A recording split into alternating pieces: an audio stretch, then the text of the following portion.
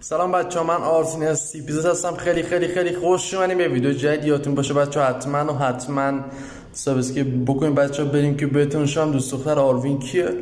و پیج اینستاگرام این دخترم گیره بودم. البته نمیشه گفت 100 درصد 50 50 اما خب بازم بریم بهتون نشون بدم بچه ها خب بچه این پیج اینستاگرام همون دختر است. همون جوری که بچه ها می‌بینید آروین هم follow ش کرده.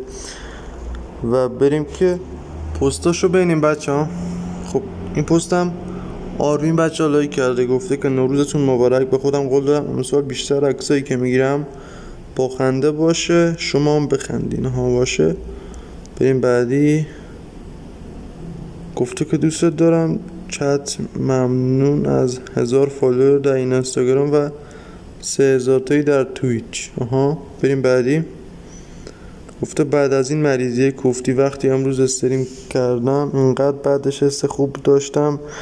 انقدر خوشحال بودم که حتی حرفایی که می‌زنن دربارم هم برام مهم نبود. فقط با وجود شماها با شماها این موفقیت رو به دست آوردم. خیلی خوشحالم که تو این مدت کم این همه دوست خوب پیدا کردم و مخاطبای خودم رو خودم و برای خودم یک کامیونیتی دارم. واقعا ازتون ممنونم. بدون شما بدون کمک دوست بدون حتی یکیتون من انقدر خوشحال نبودم. ممنون که هستید.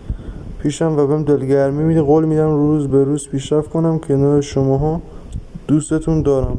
بریم بعدی. بچه این هم آروین لایک زد گفته. مرسی. واسه اینکه با این همه بد بودم و صدای خراب و کلی مشکل موندین تو استریم یکی از بهترین روزای زندگیم بود. از بچه ها هم که من تو این روزای تنها نذاشتین خیلی من قول میدم دفعه بعدی خیلی بهتر باشم. دوستتون دارم. خب بچه واقعا جمعتون گرم که تا تماشا که یادتون باشه. بچه حتما و حتما subscribe بکنید کامنت هم بذارید لایک هم بکنید. خدا نگهدار بچه